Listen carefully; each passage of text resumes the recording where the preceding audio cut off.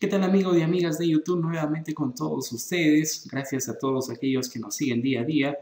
Los que aún no lo hacen, les invitamos a suscribirse y activar la campanita para que cuando subamos los próximos videos seas tú el primero en verlo. Hoy te traemos un tutorial sencillo cómo cambiar el nombre de usuario de tu equipo. Para ello, presionamos Windows R y escribimos esto.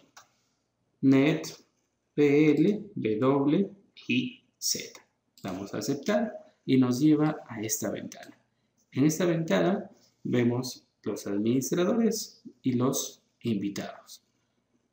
Voy a cambiar el nombre, elegir asesores, propiedades y aquí podemos cambiar el nombre.